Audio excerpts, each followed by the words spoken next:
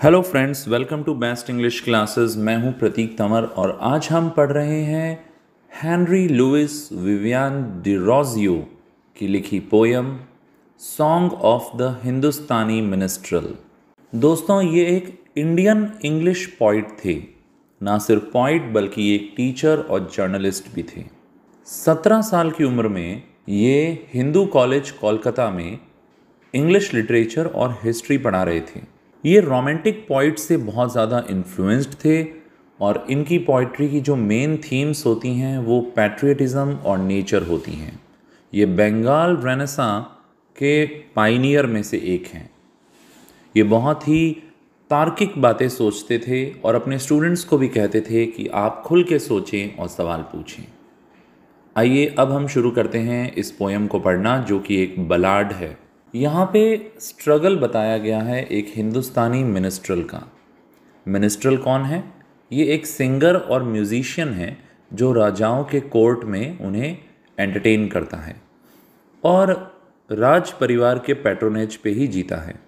इस पोएम का जो ये कोर्ट सिंगर है, ये बड़ा दुखी है किसी बात को लेकर। और उसकी जो लवर है, वो उसको चीयर अप करने की कोशिश कर रही है। उसे प्रेज़ कर, यहाँ पे प्रेज़ हो रहा है, तारीफ़ हो रही है, उसकी ब्यूटी की और उसके अच्छे फ्यूचर की कामना की जा रही है। इस पोयम में टोटल नाइन स्टैंडा हैं, हर एक लाइन में फोर लाइन्स हैं। क्वाट्रेन टाइप का सिस्टम है यहाँ पे, चौपाइयाँ हैं। पहले चार स्टैंडा के अंदर लवर डिस्क्राइब करता है कि उसकी जो प्रेमिका है, उसकी ब्यूटी इनकम्पैरेबल है, किसी से तुलना ही नहीं हो सकती। और वो तो यूनिक है। और लास्ट के फाइव स्टैंडा में वो उसे एनकरेज करता है कि अपनी उम्मीद मत छोड़ो। तो सबसे पहले फ़र्स्ट स्टैंडा का मैं आपको एनालिसिस देता हूँ। फ़र्स्ट स्टैंडा की फोर लाइंस को एक बार हम बोल के देखते हैं। आप भी मेरे साथ बोलिएगा। With surma tinge the black eyes fringe sparkle like a star with roses dress each raven tress, my only loved दिलदार तो जो फ़र्स्ट फोर लाइन्स हैं, वहाँ पे वो डिस्क्राइब कर रहा है एक ब्यूटीफुल महिला को, जिसने काजल लगाया है, सुरमा लगाया है, अपनी आँखों के किनारे पर। और वो कहता है कि तुम्हारी ये जो सुरमे वाली आँखें हैं, ये एक तारे की तरह चमकती हैं। तुम्हारे बाल एकदम काले हैं, और तुम्हारे बाल जो हैं, उनको गुलाब से सजाया है। और नरेटर यहाँ पे कह रहा है कि सिर्फ़ ये महिला ही है जो कि उसकी इकलौती दिलदार है, यानी उसकी बिलवेड है। अब हम नेक्स्ट एंजा देखते हैं। नेक्स्ट टेंजा है, Dildar.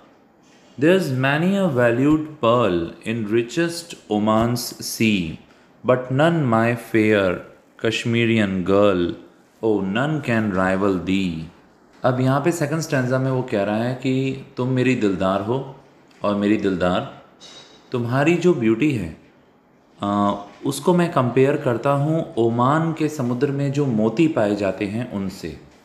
ओमान के सी में बहुत सारे कीमती बेशकीमती मोती हैं पर कोई भी मोती ऐसा नहीं है जो कि तुम्हारी ब्यूटी के सामने मेरी प्यारी कश्मीरी गर्लफ्रेंड तुम्हारी ब्यूटी के सामने टिक पाए। तो यहाँ पे ओमान का ज़िक्र किया गया है क्योंकि उस समय जो मिडल एजेस थी, तब ओमान और इंडिया के बीच में बहुत व्यापार होता था और वहाँ से पर्ल्स आते थे। ये था हमारा सेकंड स्टैंडा अब हम देखते हैं थर्ड स्टैंडा को। In Bushra there is many a rose which many a maid may seek but who shall find a flower which blows like that upon thy cheek अब वो आगे एग्ज़ाम्पल देता है कि जो बुशरा नाम की जगह है, वहाँ पे रोजेज़ पाए जाते हैं। अब ये इराक़ में है बुशरा, वहाँ पे बहुत सारे गुलाब पाए जाते हैं और बहुत सारी सुंदर लड़कियों की ये कामना होती है कि वैसे गुलाब उन्हें चाहिए। पर कोई भी गुलाब जो इसकी गर्लफ्रेंड है, उसका जो शर्माना है, ब्लशिंग है, जो उसके चीक्स पे आती है, उसका मुकाबला नहीं कर सकता। कोई गुलाब इतना खिला हुआ नहीं हो सकता। तो यहाँ पे रोज़ की इमेज को यूज़ में लिया गया है एक लड़की की खूबसूरती बताने के लिए। तो पहले ईस्ट एशियन सिटीज़ के साथ में भी इंडिया का बहुत ट्रेड लिंक था। अब अगला स्टैंडा देखते हैं।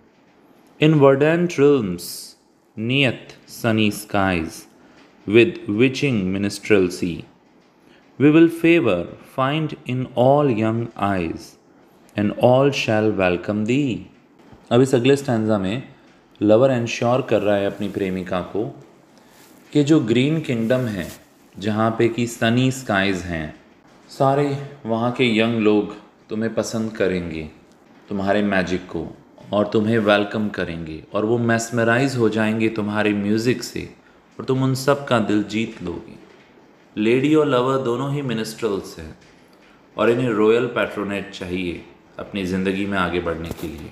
अब हम नेक्स्ट पैराग्राफ देखेंगे next stanza around us now there is but the night the heaven alone above but soon we will dwell in cities bright then cheer thee cheer thee love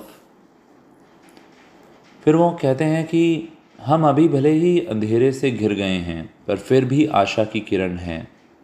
और मैं तुम्हें यकीन दिलाता हूँ, मेरी लेडी लव कि ऊपर सिर्फ़ स्वर्ग है, जन्नत है। हमें किसी पे डिपेंड नहीं होना पड़ेगा। किसी रॉयल पैट्रोनेज के लिए हमें डिपेंड नहीं होना पड़ेगा।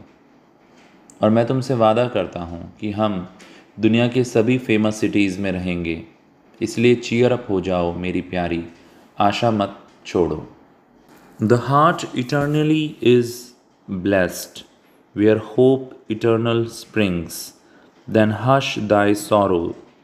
All to the rest, we will treat the courts of kings. अब वो आगे कहता है कि हम इंसानों का जो दिल है वो इटर्नली ब्लेस्ड है आशा से और पॉजिटिविटी उसमें से स्प्रिंग करती है मतलब निकलती है।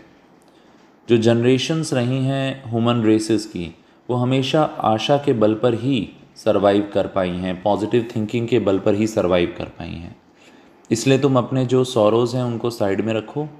मैं गारंटी लेता हूँ कि जल्दी ही हम बड़े बड़े राजाओं के कोर्ट्स में परफॉर्म करेंगे। यहाँ पे लवर एकदम पॉजिटिव है। और वो चाहता है कि उसकी बिलवेड भी पॉजिटिव रहे। और इसीलिए वो अपने इस मेलोडियस गीत से उसको चीयर अप कर रहा है। अब नेक्स्ट देखते हैं।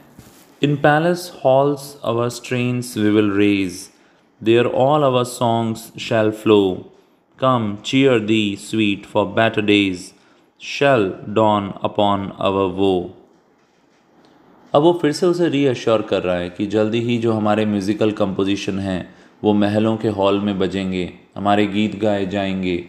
वो उसे चीयर अप कर रहा है कि हमारे दुख जल्दी ख़त्म हो जाएँगे और फिर से अच्छे दिन आएँगे। ने weep not love thou shouldst not weep the world is all our home Life is watched together, we shall keep. We will love wherever we roam. वो उसको कहता है कि तुम रो मत। यहाँ पे एक तरीके से वो शेक्सपियर का जो एक फ़ेमस मेटाफर था कि सारी दुनिया ही एक स्टेज है। यानी कि सारी दुनिया हमारा घर है, वसुदेव कुटुम्बकम वो वाली बात वो यहाँ पे काम में ले रहा है। कह रहा है, हम किसी एक रॉयल फैमिली पर डिपेंड नहीं रहेंगे, सारी दुनिया ही स्टेज है। हम लोग साथ में अलग अलग जगह जाएँगे विज़िट करेंगे हम अपना जो एक्सपीरियंस करेंगे सौरो और जॉय वो साथ में इन्जॉय करेंगे। और हम लोग जिन जिन जगहों पे जाएँगे, वो लोग हमें प्यार करेंगे। लोग हमारे म्यूज़िक को पसंद करेंगे। अब नेक्स्ट लास्ट टेंजा में वो कहता है like birds from land to land we will range and with our sweet sitar our hearts the same though worlds may change we will live and love Dildar अब इस लास्ट एंजा में वो कहते हैं कि दे विल माइग्रेट वो migrate करेंगे एक जगह से दूसरी जगह जैसे कि पक्षी करते हैं। और साथ में अपना सितार लेके जाएँगे और उसे बजाएँगे। और हम अपनी इस कला को ज़िंदा रखेंगे। हमारे दिलों में शुद्धता है और इनोसेंस है। इससे एक मैजिक क्रिएट होगा। और लोग हमें पसंद करेंगे। ये दुनिया भले ही बदल जाए, पर एक दूसरे के लिए जो हमारे मन में प्यार है, वो कभी नहीं बदलेगा। लवर को पूरा विश्वास है अपनी आर्ट पे। और वो अपनी दिलदार को कह रहा है कि तुम डिसहार्टन मत हो। हम एक नई दुनिया बसाएँगे, जहाँ प्यार होगा और म्यूज़िक होगा। अब इस पोएम की राइम स्कीम क्या है? ए बी ए बी और इसमें क्वाट्रेन्स हैं नाइन स्टैंडाज हैं। सिमली और इमेजरी हमें देखने को मिलती हैं। जैसे यहाँ पे स्टार्टिंग में ही प्रेमिका की आँखों को एक तारे के साथ कंपेयर किया गया है कि वो स्पार्कल करेगा। उसके शर्माने को फूल के साथ कंपेयर किया है रोज़ के साथ। और खुद को जो मिनिस्ट्रल्स होते हैं, जो गाना गाने वाले होते हैं, उनको चिड़िया के साथ कंपेयर किया है। साथ ही इसमें इमेजरी भी हमें बहुत अच्छी देखने को मिलती है। आई होप ये पोएम आपको अच्छे से समझ में आ गई होगी। चैनल पे नए हो तो प्लीज़ इसे सब्सक्राइब करो और बेल बटन को हिट करो। इंग्लिश लिटरेचर के बहुत सारे वीडियोस आपको हमारी प्लेलिस्ट में मिल जाएँगे। ये चैनल आपके बड़े काम का है। वीडियो पसंद आया तो लाइक करो कमेंट बॉक्स में अपना फीडबैक दो और अपने फ्रेंड्स के साथ इसे शेयर भी करो। फिर मिलेंगे। All the best for your exams